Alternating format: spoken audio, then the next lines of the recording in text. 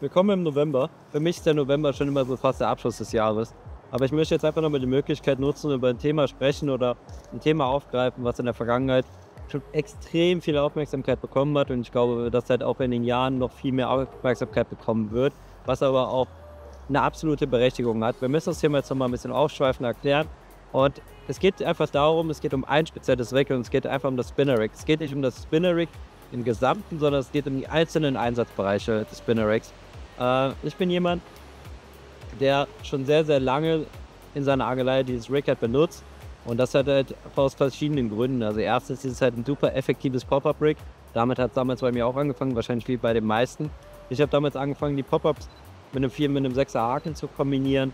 Ähm, das hat einfach den riesen Vorteil, ich kann halt einen Pop-Up ganz in meiner EDI-Montage oder einer Safety-Clip-Montage werfen. Ich habe äh, den Pop-Up wirklich sehr, sehr knapp über dem Boden stehen, aufgrund, dass der Haken nur quasi gesehen den, das, das bisschen Auftrieb generiert. Das heißt also, es kommt der Pop-Up, der Haken und dann liegt das Pop-Up schon dem Boden. Das ist halt wirklich sehr, sehr rundnah. Es ist sehr, sehr unauffällig eigentlich für die Fische, aber so auffällig, dass es halt einfach diese Neugierde weckt. Ich habe oftmals das Gefühl, dass ein Shot-Rig in verschiedenen Situationen einfach nicht die beste Wahl ist. Es gibt Situationen, da ist vielleicht das Shortback dem, dem Spinner-Rig halt überlegen.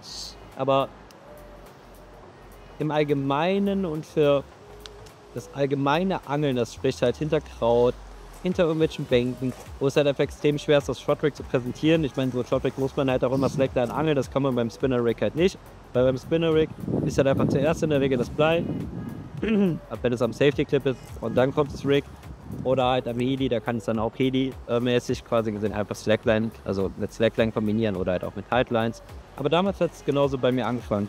Ich habe es wirklich sehr, sehr oft damals eingesetzt, um Single Loop Bait damit Fische anzuwerfen, ins auf dem Futterplatz zu präsentieren. Weiß auch nicht, wie viele Fische ich mit dem ganzen Rig in meiner, in meiner ganzen Zeit halt gefangen habe. Es sind bestimmt Hunderte. Und dieses Rig genießt bei mir eine extrem hohe Aufmerksamkeit, gerade im Bereich Frühjahr, Sommer oder halt im Winter, wenn es halt darum geht, sag ich mal, Einzelfische mit sehr, sehr kleinen Fallen halt anzusprechen. Irgendwann ging es halt immer weiter und ich habe zum Beispiel von sehr, sehr vielen Leuten gesehen, dass sie das Rig halt auch zum Beispiel in Kombination mit Bodenködern, Snowmans, Warfern oder sonst irgendwas eingesetzt haben. Das habe ich jahrelang nicht gemacht, weil ich sehr, sehr viele Jahre lang auf der Kurti Kombi Rig gesetzt habe. Aber irgendwann habe ich halt gemerkt, dass es halt wirklich einfach ist, mit dem Spinner Rig halt alles zu kombinieren. Die neueste Variante in meinem Repertoire ist tatsächlich, das Spinner Rig mit einem Longshank zu angeln. Ähm, und ich habe der riesen Vorteil von einem Roundshank und einem Spinner Rig zusammen ist, der Longcheck ist der aggressivste Haken in der gesamten Quarter Range, wenn es darum geht, einen Fisch zu haken. Der Haken, der am schnellsten hakt. Es gibt keinen Haken, der mehr Fische hakt als dieser Haken. Es hat ein paar Vorteile, also es hat ein paar Gründe. Das ist natürlich erstens der lange Schenkel vom Longschenk und die sehr, sehr gerade Spitze, die sehr, sehr gerade lange Spitze. Ähm, das in Kombination mit dem schweren Punkt am Spinner Rig ist halt extrem gut, um schnelle, viele Bisse zu bekommen, um die Fische schnell zu haken und ähm, dann halt auch sicher zu lernen. Natürlich muss man dann immer ein bisschen was kombinieren mit der Länge da auch immer so ein bisschen Abstriche machen, darauf gehen wir später ein, auf die Länge. Erstmal so auf die grundsätzliche Präsentation. Da bin ich halt der Meinung, wie gesagt, man kann super mit Pop-Ups angeln, man kann es jetzt aber auch, so wie ich es jetzt aktuell mache, ich kann das mal kurz hier zeigen. Es ist halt wirklich einfach ein Longshank am Spinner Rack, D-Ray-Kicker drauf und da habe ich quasi meinen Snowman drauf. Man merkt einfach so, wenn man das ganze Ding in Zeit jetzt mal zusammenfasst, dieses Spinner Rack extrem krass darauf ausgelegt ist, einfach, also was heißt darauf ausgelegt ist, aber man kann damit halt einfach alles angeln. Das ist halt ein Rig für jegliche Angelsituation. Wenn ihr das Rig mit einem Pop-Up angelt, macht einfach ein Vierer oder ein Sechser White Gap drauf. Wenn ihr das Ding zum Beispiel mit einem Snowman angelt und der Sechser White Gap oder Vierer White Gap euer absoluter Favorite Haken ist, könnt ihr das genauso machen. Wenn ihr aber zum Beispiel sagt, hey, äh, ich würde die ganze Sache mit dem Longcheck auch mal gerne ausprobieren. Wenn der Berufer sagt, das hakt extrem viele Fische, probiere ich das mal. Kann ich euch nur empfehlen. Bei mir funktioniert es extrem gut. Ich mache das Ganze jetzt seit zwei Monaten. Und ich muss sagen, also das, das Rig in Kombination mit dem Longshank und den entsprechenden Längen total gut, hakt extrem gut. Und so bin ich halt jetzt wirklich einfach aufgestellt. Ich kann binnen von Sekunden von quasi einem Popper-Rig auf einen Bodenköder-Rig wechseln. Ich kann jeglichen Köder damit anbieten. Es ist so einfach, damit zu angeln.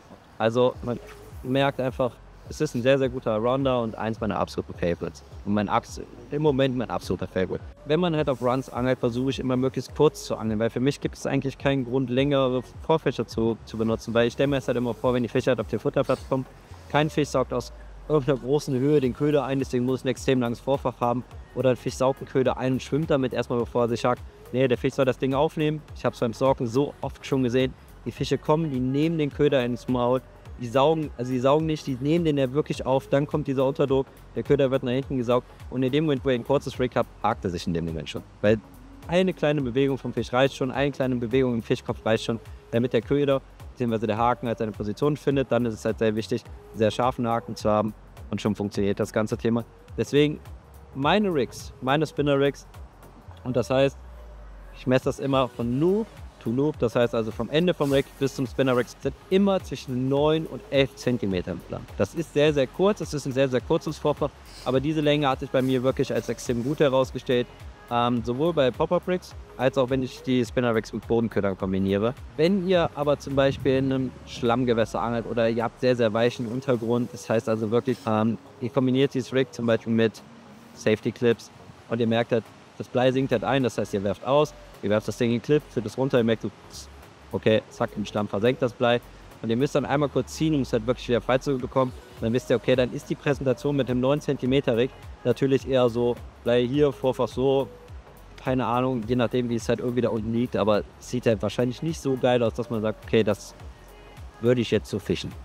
Äh, in dem Moment würde ich euch halt dann vielleicht empfehlen, entweder halt auf eine Helikopterpräsentation umzuschwenken oder aber, sag ich mal, das Weg auf über 11 cm zu verlängern, 12, 13 cm und vielleicht im Material ein bisschen weicher zu gehen. Das heißt also statt dem 25 Step Spoon die etwas äh, dünnere Variante, die ein bisschen weicher ist, so habt ihr halt wieder die perfekte Präsentation. Das Rig kann sich besser ablegen. Macht ein bisschen mehr Putty aufs Vorfahrt drauf. Auf der Mitte hier könnt ihr auch gut sehen. Für mich ist es dann immer noch mal so ein bisschen diese ganze Kombination aus allem, die dieses Rig halt so perfekt macht. Also wir fassen das Ganze jetzt einfach mal kurz zusammen nochmal. Es ist ein absolutes Around-Rig. Es lässt sich mit allen Ködern kombinieren. Es lässt sich mit allen Bleisystemen kombinieren. Ihr könnt es vom Boot ablegen, ihr könnt es werfen. Was auch ein Vorteil ist, dadurch, dass es halt immer mit steifen Materialien gebunden ist, ist es nahezu immer verhedderungsfrei. Natürlich gibt es mal Situationen mit Wind oder so, wo es auch mal verheddert. Muss ich euch nicht vormachen, das passiert mir auch. Ähm, da hole ich das Ding halt irgendwie, ich sehe es halt dann im Wurf, wie es sich halt nicht wirklich trennt. Ja, da muss man es halt dann nochmal reinholen. Das kann halt immer mal passieren. Aber 90% oder 95% der Fälle kommt das verhedderungsfrei unten vom Boot an. Ich habe bis jetzt keinen Nachteil davon gefunden. Keine Ahnung, wird es da vielleicht irgendwo einen geben. Aber für mich ist es so, ich habe einen Rig, das kann ich mit mehreren Haken kombinieren, zu verschiedenen Jahreszeiten kombinieren. Es ist halt wirklich ein sehr einfaches und sehr fängliches Rig.